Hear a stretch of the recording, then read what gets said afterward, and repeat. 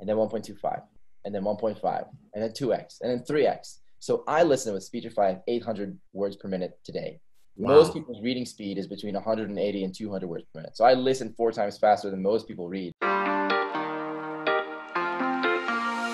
Welcome. This is Phil Michaels, Forbes 30 Under 30 entrepreneur and performance coach.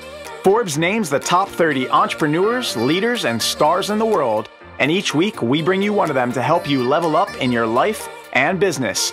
From celebrities like LeBron James to Kylie Jenner and Cardi B, you're sure to learn from the list.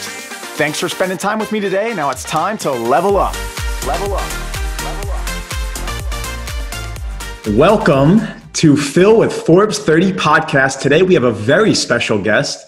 He's the founder of the Speechify text to speech software, the 10th highest grossing productivity app on Apple's App Store, third app in Apple's newspapers category, used to read more than a billion words every month. At 22, he was one of the youngest people named a Forbes 30 under 30 list.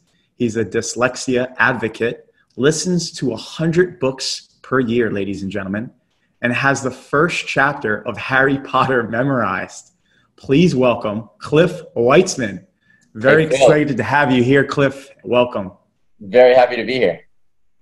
And little did I know, today is Cliff's birthday. So happy birthday, Cliff. Thank you so much, man. Ladies and gentlemen, uh, we have a very special day for Cliff. So let's make it special for him by starting off with how I met him.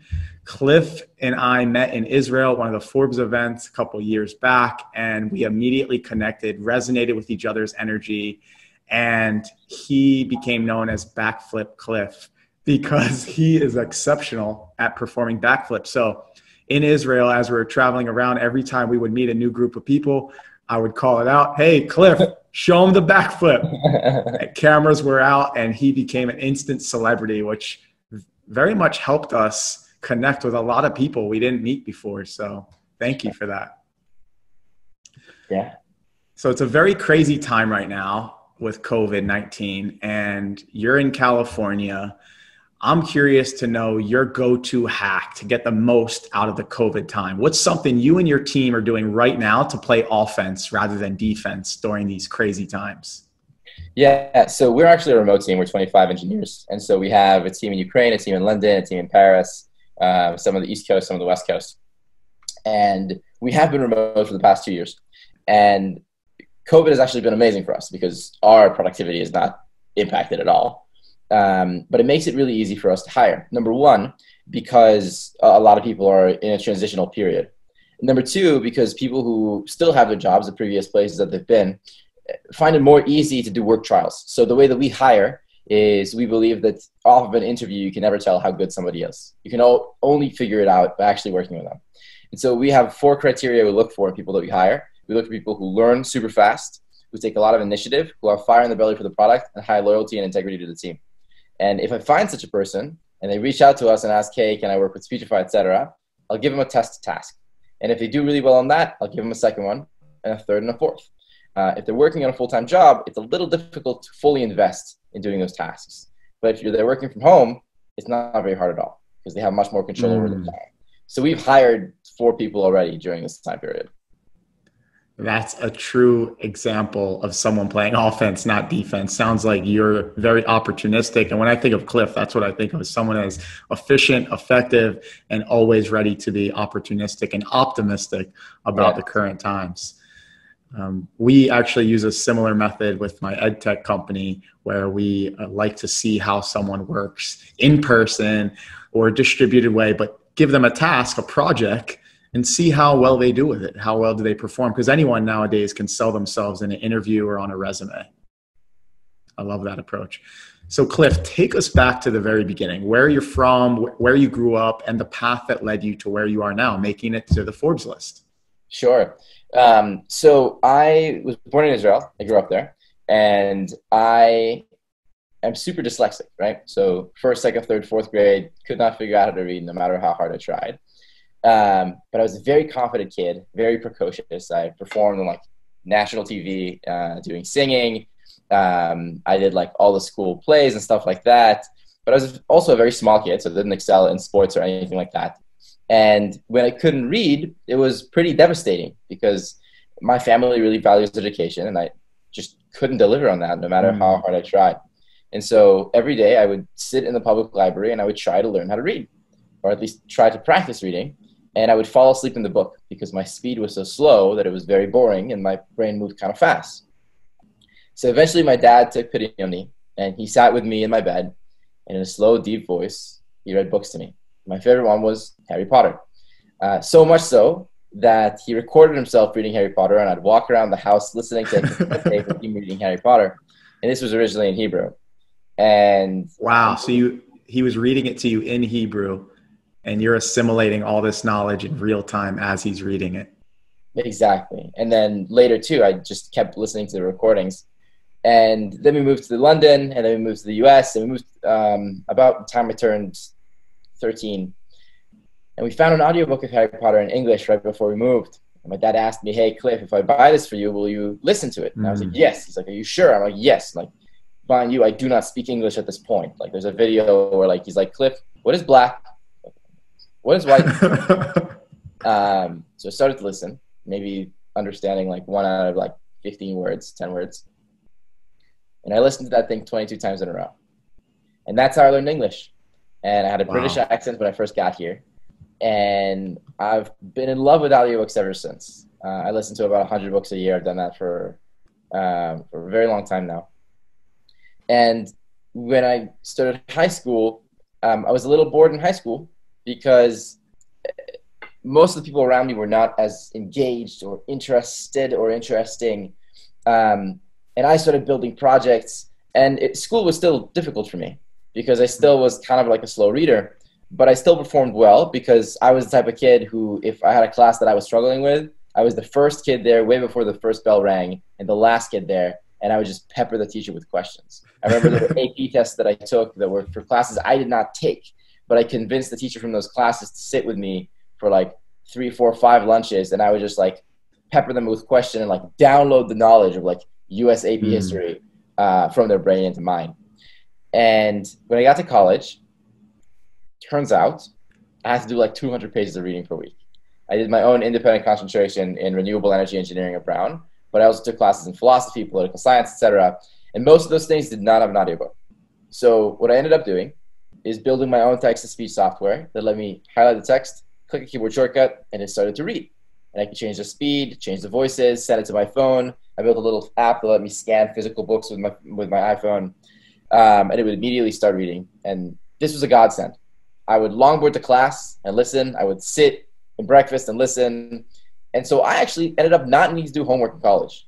Any of the reading just happened passively in the because background. you were using the technique that your dad used for you with Harry Potter. This seemed to resonate with you, and you were able to assimilate knowledge much faster and more efficient and effectively. Okay. So you found a way to build that same way your dad helped you, but for your own purpose while you're in college, while you're in high school. Exactly. And what happened to me, which is wonderful, is when I started to listen, I didn't speak English. And so I couldn't speak I couldn't listen at 1x speed. I listened at mm. 0.75, 0.6x speed. And my brain got really good at filling in the blanks. Because if the sentence say said Harry lifted his wand, maybe I knew what the word Harry said, and I knew what the word wand meant, but I didn't know what lifted meant. Um, and so I would have to fill in the gaps. And I was like, well, lifted probably means used, raised in there, something like mm-hmm. that. And if you hear that sentence a couple of times, you figure out what the word means. And so my brain got really good at filling in the gaps. And, and comprehension, you're filling in the gaps. You're you're able to read the underlying message. Excellent. Exactly. So even today, like it's so easy for me to finish up people's sentences because I just had so much reps doing this. Mm-hmm. And then what happened is I started to be able to listen at 1x speed, and then 1.25, and then 1.5, and then 2x, and then 3x. So I listen with Speechify at 800 words per minute today. Wow. Most people's reading speed is between 180 and 200 words per minute. So I listen four times faster than most people read. And it's just because I got the opportunity to practice listening fast because we spent 10 years in elementary school learning how to read. And no one expects a kid when they're 10 years old to have a fast reading speed or a good comprehension. You know that they need some time schooling to do that. I got to have that learning in a much shorter period of time before my ears. Most and the current and the current school system at least in the US isn't set up for people that have dyslexia it's not it doesn't necessarily reward people that can't read at the effective rate they need to be reading or writing at the effective rate they need to be writing so you found a way to kind of hack the system where you could still accomplish your academic tasks but do it in a way that worked for you Absolutely. Most people with dyslexia fall through the cracks, right? It's this very weird dichotomy where, like, you are nine years old you objectively suck at the one thing you're supposed to be good at. So, my teachers thought I was stupid. My parents thought I was lazy. They canceled my ninth birthday mm. party because they were very frustrated at me. Um, you start and, to get a label that you are less or inferior yeah, to those absolutely. that are excelling in the traditional school system. You have a big chip in your shoulder and so, two outcomes happen from this. Number one, you check out. You start not paying attention in class. You gain your credibility by being funny, mm. um, and by not caring about what the teacher says. You might get into some, some, some trouble. 50% of um, incarcerated people in California and throughout the United States have dyslexia. At the same time, 40% of billionaires have dyslexia. And so it's this thing where either you fall through the cracks, which is the majority of people. Now, 5% of the people in public school are diagnosed with dyslexia. 70% of the population has it, but most don't know because it's expensive to get evaluated. But if you do figure out how to deal with it, it builds such ridiculous grit in those people that that applies for every part of your life. So for me, I just found a way around it with audiobooks and then text to speech. And I built 36 products when I was in college. Everything from 3D printed skateboard brakes, biotech supplements, payments companies, apps, websites, um, to pay for school, I ended up hiring 10 freelancers in the Philippines to find out a lot of scholarships for me. And that paid for school. And then I built an API that let other people use the same thing. So when I graduated, I could travel, I could do what I wanted. And I asked myself if I was a billionaire right now, what would I want to do with my life, with my time? And the conclusion was, conclusion was I wanted to solve dyslexia. And so around the same time, I read a paper about the application of deep learning to text to speech, where for the first time you can do text to speech at near human quality using AI. I cried when I read this paper. I implemented it into my software, and a lot of things ensued, but uh, it ended up becoming the most popular text to speech tool in the world. It's used by millions of people, especially people like me who have dyslexia and ADD and low vision and concussions. But now it serves um, the majority of our users are professionals, doctors, lawyers, um, hedge fund managers, etc., on a daily basis. And I got to build an incredible team around me. And, and that's the quick short story of, of Speechify. Um, I also, as you know, I do a lot of music. I do a lot of fitness. I have a lot of different hobbies, uh, but that's what I spend most of my time on. Thanks for sharing, Cliff. I'm sure you in the audience is wondering, well, I have dyslexia. This is exactly what I need. And you went from 0.5x to 0.75x. You started increasing the speed at which you would listen to these audio recordings of these books. For you in the audience, you might be wondering, how can I get started? So, Cliff, what advice would you give someone that's just starting out? They have dyslexia and they want to take a similar path? Because I'm sure now that you're at 800 words per minute, but you didn't start there. So, where should someone start? Yeah. So, if you download Speechify, just search Speechify, Speech IFY, uh, in the App Store or on Google. If you go to our website, you can download the Mac app. If you go to the App Store, you can download the iPhone app, which is superior. Um, and the first thing it'll do is let you pick a voice that is your favorite voice. So there's a voice called Stephanie, which is a British voice. It's based on my mom. I love that. You can pick your speed. So it lets you play, find the speed that's comfortable for you. And if you really want to increase your speed, you can go to settings and turn on automatic speed ramping. So in the same way that if you put a frog in a pot and you start to boil it, it doesn't notice that it gets hot. Automatic speed ramping as you're listening, every 3,000 words, it increases you by one word per minute, two words, three words. Wow. So it automatically levels you up without you even noticing the difference. So it's kind of forcing you to get better and better over time. Exactly. And so the key is you want to listen at a speed that is not too fast that you really can't comprehend and is not too slow where you get bored and it doesn't even match exactly your processing ability. You want to listen 10% higher than your processing ability and you want that always to be the case. And here's what we also find out most kids, especially kids with dyslexia, have brains that work pretty fast. And they check out in class because they get bored. And so the worst thing you could do to someone is have them sit and intake information at half their processing speed. That's why if I made you sit and watch a movie at 50% speed, you'd get out of there immediately. You need to think to match the speed at which their mind is working, and that helps them. And that's how you engage someone. And that's actually comprehension goes up that way. And so most people do not start listening at 200 words per minute. They start listening at like 225, 250, because that's the speed of speaking. And then little by little, they increase from there. And so download Speechify in the App Store, find the closest piece of paper for you and take a picture of it, and it'll start to read. Or go to the news section and read the daily COVID updates, um, or read something from the New York Times. Or if you have a big PDF that you need to read for school, for work, for whatever, upload it into the app. If you have a long email, go into the email, copy the email, open the app. It'll notice the copy uh, thing in your clipboard, and it'll just start to read. And just play around with it. So pick your favorite reading material or something you have to read, maybe for school or for work, and they can upload it and use your app and it will start reading and it'll start gradually and then work them up to a, a higher reading speed to eventually reach superhuman reading speed like Cliff. Exactly. I love it. So yeah. yeah, this this is amazing. I'm sure a lot of people will benefit from this, and they sound like they already have. So this is amazing. And you you took something that was a challenge for you, and you turned it into an advantage, something that helps you get the best out of Cliff. Um, yes, exactly. Previously, you might have been defined by a label that someone's given you, and you were able to overcome that challenge, that obstacle. I love that, and I also like how you mentioned you had to use humor to differentiate yourselves from the other classmates, for example. And maybe that's where the backflips came in and your your just likable personality. Mm. The backflips are a different story. Um, I just like when I set myself a goal, I just jump in with both both feet. So when I was six, I saw a movie where Jackie Chan did a backflip, and I was like, "Well, I must learn how to do that." and then I signed up for capoeira and then gymnastics, and we moved to the United States, and gymnastics was expensive, so I learned from YouTube videos. And every time I saw anybody do a backflip, I would run over and be like, where'd you learn how to do that? And one day I remember there was some dude who did a backflip like 10 houses down from like a house that I was at. And like I climbed two fences to get there. And I was like, how did you learn how to do that? He's like, well, there's this rec center on like Sir Francis Drake Boulevard. So I went there and it was closed. I went there again and it was closed and it wasn't listed on Apple Maps. And I went to that place four times before I luckily went during a time that they were open in the weekend. It was three miles away from my house, and I would bike there every day. And I made a deal with the guy who owned it that if I got to a certain level, I wouldn't need to pay to go there. And uh, it was the best thing ever. Um, and so that's how I practiced. And once I could do a backflip, I learned how to do fulls, front flips, a bunch of other things.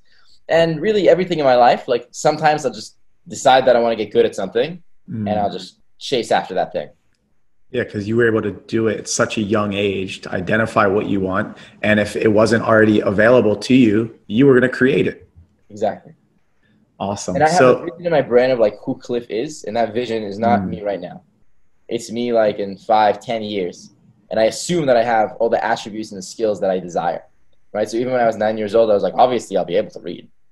Um, and that's like the thing that carries you through because like it's going to happen I don't know if it's going to be with my eyes or with my ears or how I'm going to do it, but I'm going to make it happen. You visualized uh, it before it yeah, became visualize true. it all the time, yeah. Let's uh, dive into those pivotal people in your life. Jackie Chan inspired you to learn the backflip, and the guy that you eventually met on Sir Fran- Francis uh, Drake Boulevard who were the most pivotal people in your life to help you get to where you are now? Who was your coach, your mentor? Yeah, well, obviously my parents, right? So as I shared in the story before, um, like I love my dad more than anything in the world, and when I was young, like all I wanted to do was for him to be proud of me, and that was a big driver for me wanting to be good at reading. And he would even like give us little rewards. He'd always come up with little challenges, like go.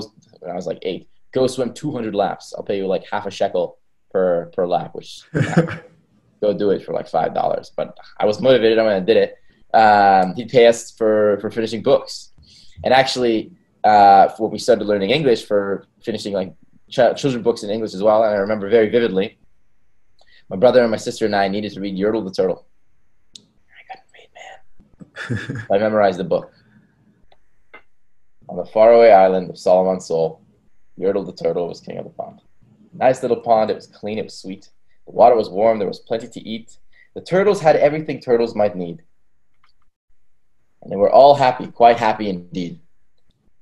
Except for Yertle, the king of them all, who thought that the kingdom he ruled was too small. I am Yertle, he said, ruler of all that I see, but I don't see enough. That's the problem with me. And I have this entire book memorized. And I That was big awesome. read this book. Um, but it was because I was so motivated. Um, and he challenged us to learn how to touch type, like everything. And my parents were really good at helping us figure out what we were passionate about from a young age. Not forcing it down our throats in any way, but just giving us the opportunities. Um, we would do like math competitions after dinner. My dad would be like, we'd have, I'm the oldest of five kids. So we'd sit around the table and my dad would be like, okay, 15 times three. And then like someone will blurt the answer, like, cool. Uh, times 17 divided by 14 to the power of two. Like, and we just like would go, like, we always play games like this. Your dad Uh, sounds amazing, and he amazing. incentivized the right behaviors. Absolutely. And so the luckiest thing that I had growing up is number one, two parents that loved me unconditionally. Didn't Mm. matter what the situation was. And I was naturally kind of like a very confident person to begin with, but that literally like had I had a floor that I would never was never going to go under. And then I had four younger siblings that I'm super like are my best friends still to this day. Like we, we help each other all the time, and they're all super high uh, achieving for the same reasons. Um, and we moved moved around the world, but I basically had like a basketball team I was moving with um, of people, so it was great. Um, and then my mom as well. Like the way I found out I was dyslexic was I just I couldn't figure it out. So Mama Bear went into research mode, read every book that you could possibly read, and in the like I don't know thirtieth, fortieth book, she read about dyslexia, and she was like, maybe this is it. And then she had me tested. Turns out that's that's what I had, and like that was the best day of my life because I finally Mm. had like like a hook to uh, a hook to put my hat on and be like, I'm not stupid, I'm not lazy. I just learned different. This That's is what it is, and this is what I'm going to do about it. Yeah, exactly. Um, And you turn your greatest pain into your greatest pleasure and advantage in the world, and now it's even become your business. yeah, and now so then the next set of mentors for me were books, right? So I read about quarter biographies, quarter fantasy, quarter like science, psychology, sci-fi, business, self-improvement, and then the quarter of like philosophy and everything else. Um, and I like devour biographies, right? So Arnold Schwarzenegger, Alexander Hamilton, Benjamin Franklin, Theodore Roosevelt, like gigantic list. And the thing that's amazing about books, especially if you're read, if you're reading a biography, but also if you're reading just a normal book, it's like you're sitting and having a conversation with the author. But for every minute in that book, they spent an hour trying to figure out what they were going to say and how to say it most effectively. So Alexander Hamilton's biography is 40 hours long.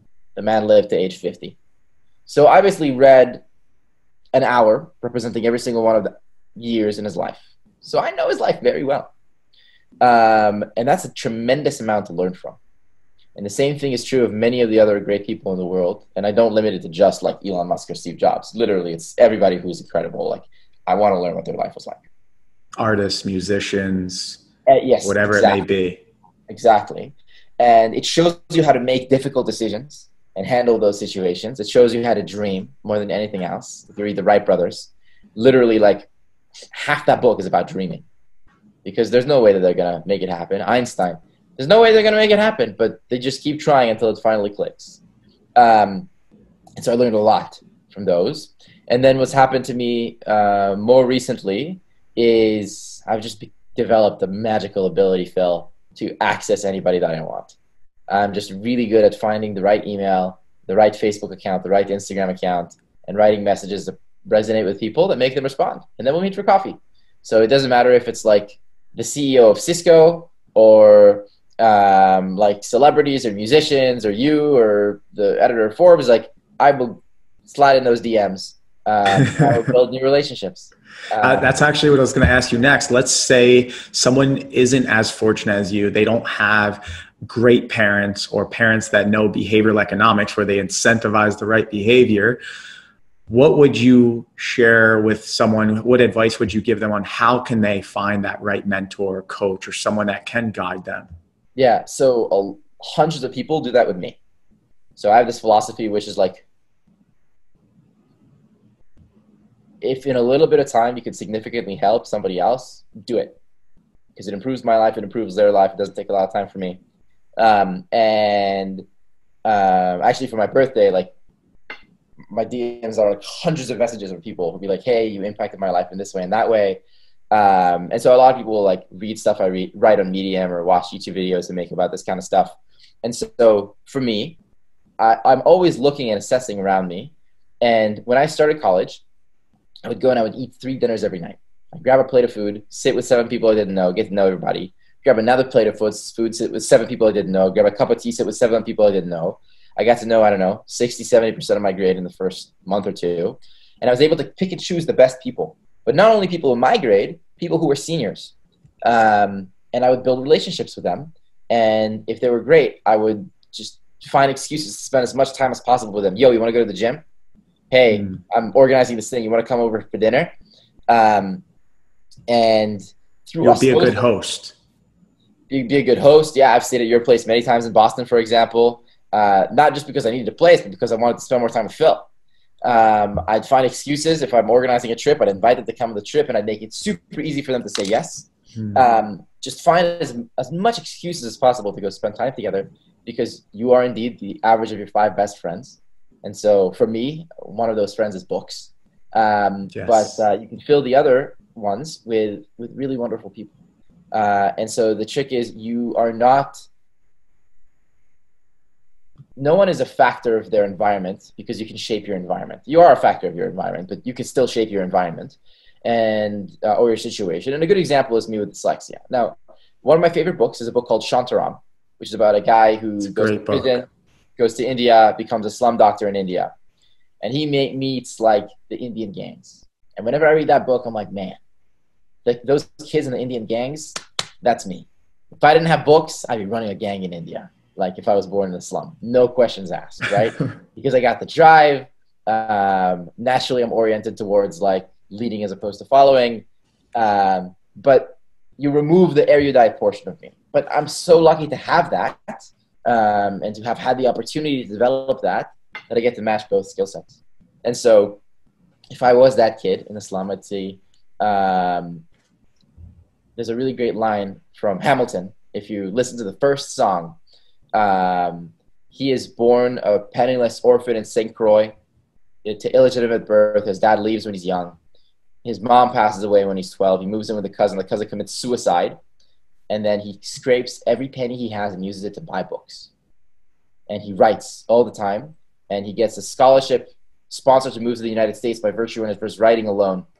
And he's just so much fire in his belly to make himself the person he sees himself becoming that he excels. Same thing is true of Arnold Schwarzenegger. He's born in like the middle of nowhere in Austria, post World War One, post World War Two, the most defeatist possible environment you could be in. Didn't even have a, refrigerator in his house growing up, and he's like, "I will go to America." And people are like, "Yeah, right." Arnold, sit down. I was like, "No, seriously, I'm going to go to America." And they're like, "Yeah, right." And he's like, "I will be the greatest bodybuilder that ever lived. and they're like, Arnold, chill. no. And he gets drafted to the Austrian military and he sneaks out at night and goes to bodybuilding competition, goes AWOL, gets put in prison for sneaking out of the competitions uh, uh, of base, but he wins the competitions. And eventually he gets sponsored and gets global recognition. And he goes on TV and he says, you know, the reason I am so well built is because of the Austrian military training. And they're like, oh, let's get out of prison. Put him in the kitchen so he can eat more and get bigger. And he made it happen because the desire was so big. And so if you're a person in that situation, which all of us are to different degrees, mm-hmm.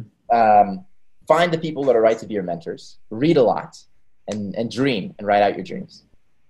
I love that. And I think that's why you and I resonated so much when we first met is we both look at books as our greatest mentors and I love giving back, and it, you shared that several times. It's like just be grateful, share that gratitude. So, what's the coolest or most unique way you or someone you know has shown gratitude for someone? Any cool stories? Because one of the ones I think of is Kevin Hart. He once set uh, a $10,000 bottle of champagne to a movie critic after he wrote a scathing review of one of his movies. And Kevin included a note that said something like, thanks for boosting ticket sales on the horrible movie. So a little different approach, but I love how he came up with a unique, funny way to share gratitude, if you will. Yeah. I mean, when I look at myself, um, I have always been a very, very almost aggressively happy person. Um, and obviously there's dips and there's highs, but for the most part, uh, I'm pretty even and it's mainly because I feel a lot, a lot of gratitude for everything in my life. So I'll, I'll share two stories with you. The first one is when I was applying to college, I was not familiar with the college system in the U.S. and neither were my parents. And so I figured, you know, it's like a lottery. You got to buy a bunch of tickets um, and make the best application you can. So I applied to 26 schools, which is unusual. Most people apply to like six.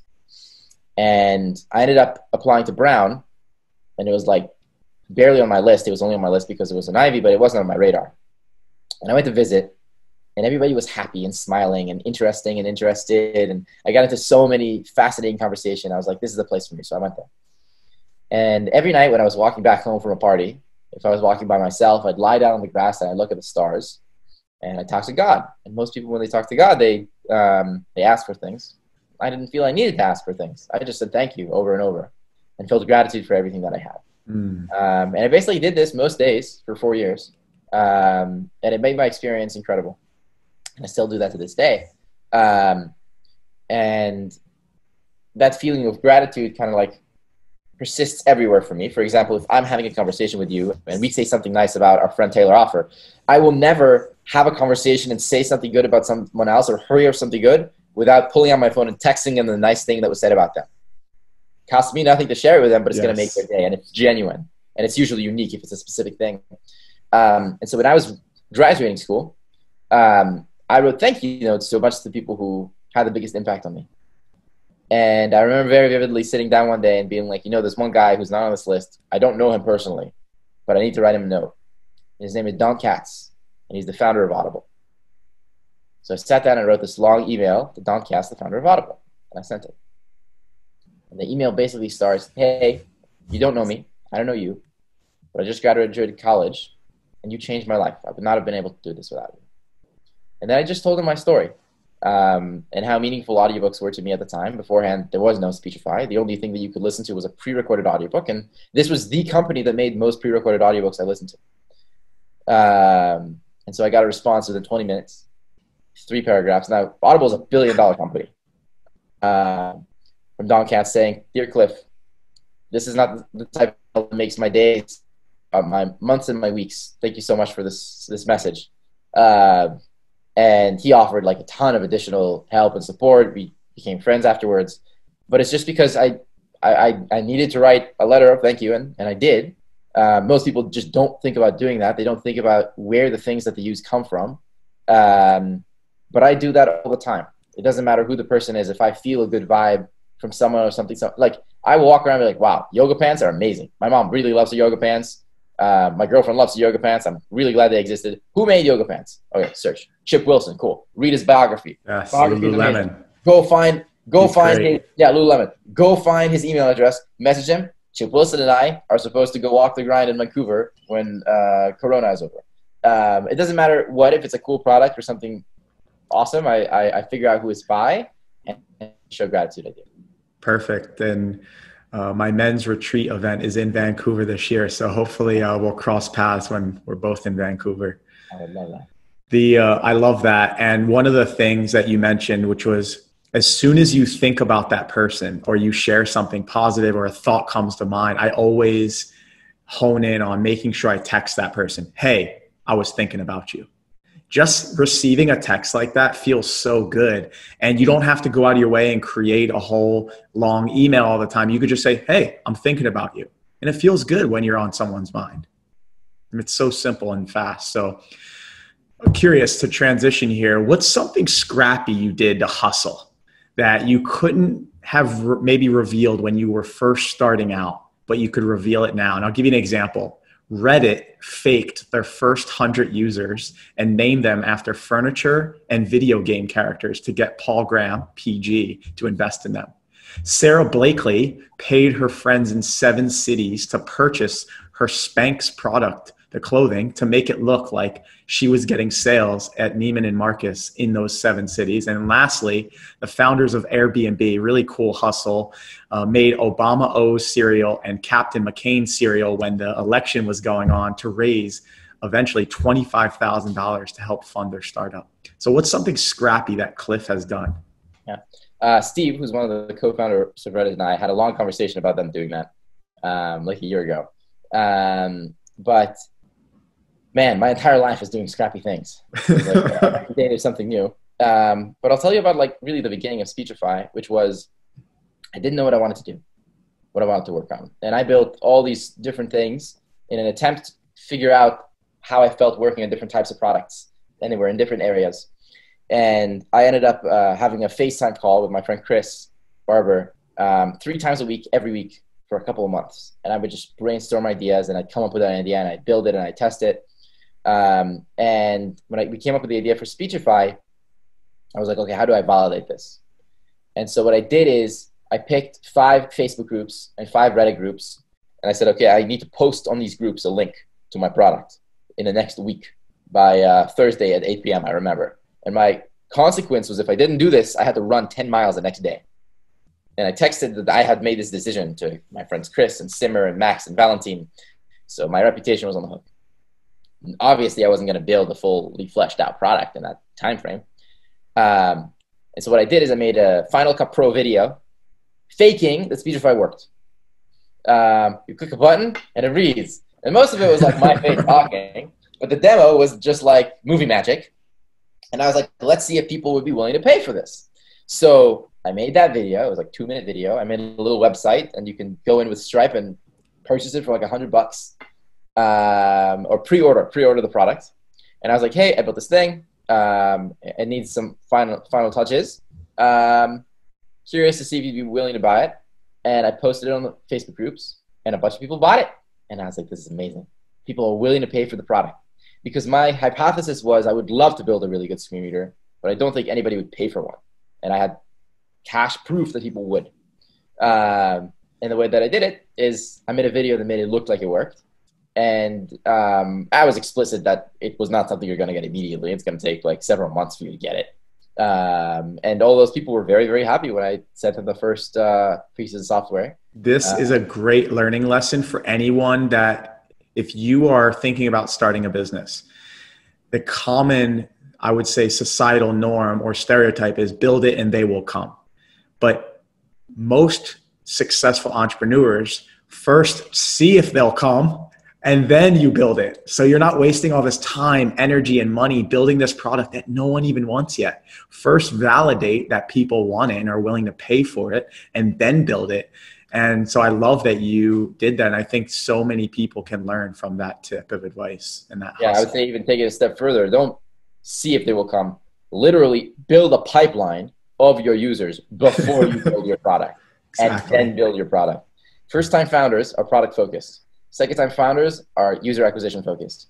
So if you're going to make a tool for people with dyslexia and you don't know how to code, and that's the thing that's hard for you, but you can write, make the world's number one dyslexia email newsletter. Recruit 100,000 people to this newsletter and then release your app. Yes, um, build um, a following first. Yeah. That way, when you are ready to share some great advice or a product or a service, you already have the following in the audience to share it with. And you okay. have people to test the product with on a regular basis too. Exactly. All right, we are going to transition into the under 30 seconds round. This is where I'll fire off some questions and just answer them the first thing that comes to mind as soon as you can. Okay. First one What is the book you've gifted more often than any other book and why? The Four Hour Work Week by Tim Ferriss. So I read that book when I was 18 years old. I remember seeing it on a shelf in Barnes Noble. Um, what I would do is I would go to the bookstore and I would look at all the book titles and I'd go home and download all of them online um, as audiobooks. And it was like this big orange book. And um, it has so many very wise lessons about the 80 20 rule, how to be efficient. Um, I've learned so many tricks from that book. And when you read it, the first chapter, Tim Ferriss sounds like a, a jerk. So take it with a giant grain of salt. but and Tim Ferriss is not a jerk. He's like one of the most incredible people in the world. Um, but um, yeah, so many good things about the lens with which to view the world. Four Hour Work Week by Tim Ferriss. I love that one. What's one of the best and one of the worst investments you've ever made and why? Worst investment is when I started Speechify, uh, after we started kind of like generating, generating revenue, like growing faster, I hired a senior engineer from Snapchat, a senior engineer from Apple, because I thought that now we were like a real startup and stuff. Um, at the same time, there were some people who joined our company who worked for me in hackathons and were my students and were like messaging me on Facebook or Instagram or YouTube to try and work on this product. And it turned out that those those though those initial employees were uh, more experienced, they left the office at six. Well, a lot of people left the office at eleven, um, and it took I don't know a couple of months for the people less experienced to become way better engineers, mm. but had much more high loyalty and much more high uh, drive and passion for the product. Um, and it was an important lesson to hire those people early because I learned that that's not the DNA that I want. Uh, but that was a wrong, uh, an investment that didn't pan out. Uh, before I did it, it was a reasonable thing to do. Best investment is investing in those people who, uh, like Simon, who I had joined my company when they were not experienced, did not even know how to code in the languages that we needed, but they had the drive and the motivation. And I would mm-hmm. give them little tests, and I would go to sleep, and I'd wake up in the morning, and it was done and they spend the majority of the time learning how to do the things that I asked them how to do, but they really crushed it. Um, and they have stayed that way the entire time we've worked together. And so uh, the other great investment is spending my time teaching other people how to do things just because I want to, uh, because that indeed build a wide network of people who are grateful for things that I did in the mm-hmm. past. I might even never have met them, but the first opportunity they have to work with me, they, they, they look to do that. And it ingrains it more in your head every time you teach others. So, what's one of your guilty pleasures or favorite cheat meals? Mm. Um, to be honest with you, I don't have any guilty pleasures. I only have good pleasures. Uh, my Touche. thing is Vega protein powder um, shake, and you eat it with uh, blackberries and blueberries frozen, and you put the powder in and you mix it up with water, and oh my god, it's like the nectar of the That seems like a healthy meal, Cliff. no, I told you I don't have cheat meals. I eat that every morning and every night. Um, I mean, I love chocolate cake. I'm gonna have that too. But as long as it fits in my macros, I will eat as much chocolate what, cake as I want. What's your uh, favorite chocolate cake company? Do you have a preference? I don't. Um, homemade, usually, you know, it's weird. Vegan chocolate cake I find to be delicious. Um, have you ever had like zucchini bread? It's like is made out of zucchini rather than typical flour and stuff. It's delicious. And you'd be surprised, will, like zucchini I, I brownies. Have, but I will have to check it out regardless. You heard it first. And uh, last two, pretend you won the Peter Thiel Fellowship and you were going to get money to start a business instead of going to college. Where would you start? In building that business? Yes well, at this point, winning the Peter Thiel Fellowship, you already have to have a really big business to, to win it. But let's assume I haven't done anything and I'm sponsored to build whatever business that I want. I do exactly the thing that I said before. Um, I'd explore a bunch of different areas um, and I would validate demand and I would build demand um, on an email list, on a YouTube channel, on an Instagram account. And then I would invest time in, in finding really good people to, to work with. And I'd build minimum viable products only uh, I would never build fleshed out features, only minimum viable products, and I'd see if people use it. And if not, I'd scrap it and build the next thing uh, until I found people that people were uh, going to use, going to share, going to pay for. Uh, and then I'd expand and invest more in that. Great advice. And last one, what's something you never knew you needed? An example of this for me is the pop socket on my iPhone. My buddy Jake out of Boston, back when I, I'm in Tampa, Florida now, but when I was in Boston, my buddy Jake said, listen, just try it out for a week. If you don't like it, you just take it off. So I tried it out. I'm like, how did I ever use an iPhone without the pop socket now? I'll have to try to put that uh, reality pop socket on my phone. It's still in my backpack. Um, to be honest with you, Speechify. Um, it didn't exist. And as I grow older, I needed it more. So eventually I just made it. So quick plug, go to the App Store, search Speechify, download Speechify on your iPhone. I'd say another thing is called the ostrich pillow. It's not a neck pillow, but it's a pillow that goes around your eyes, and then hmm. you can just sleep against any wall, any surface. It compresses. So it's better than a I typical like airplane pillow. Yeah, that's right. Although at this point, I lost my ostrich pillow. So what I do is I take my jacket and I wrap it like that, and I wrap one around my pillow. neck, and I wrap one around my eyes, and I'm set to go. I love it. Well, Cliff, thank you so much for being here today. Uh, before you go, what's what's next for you? What's the next big goal or milestone or bucket list item you want to hit? Yeah, so it's fun because it's my birthday today, and you know we met uh, a little bit after it was my birthday as well, and that was actually one of the low points for me. And I decided to go on the reality trip because I, I needed to kind of reset in some way. And at the time, on the flights to Israel, I pulled up a Google sheet and I wrote out like six categories, which were all my goals in the places in life that I cared about: uh, love, Speechify, fitness, music, um, adventures. And I wrote goals for all of them, and for the most part, I've, I've hit all of them since. So now I'm updating them. Um, but this year, it's mainly around the growing Speechify, and so we are now the I think the third app in the news category of the App Store. Uh, we have an incredible team working with us um, and so, yeah, there's millions of people using it now. The goal is to get it to 10 million, tens of millions uh, in the next 18 months uh, and scale that really fast. Uh, we're doing a thing called Speechify Basecamp once uh, Corona is over, which is we all eat 3,500 calories a day and do super intense uh, weight workouts for, for 30 days. So I'm really stoked for that. Oh, that's exciting. Yeah, my brother and I are spending a lot of time writing music here in quarantine. Um, and as always, reading more books we'll have to make sure people go check out that uh, journey adventure. Maybe you'll share it on youtube or something so people can tune in and witness that journey. You also have to uh, share some of your backflips. I know you probably don't have space to do it there so maybe they could catch you on youtube or your instagram. So where do listeners go to connect with you?